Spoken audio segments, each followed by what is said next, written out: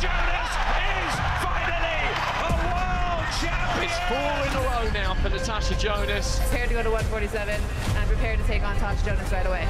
That was class from the American. This is good for a man just turning the screw. Well, Natasha Jonas now not once, not twice, but three times a champion. If it has to be a dogfight, it's going to be a dogfight. Jonas versus Mayer, live January 20th on Fight Sports Max.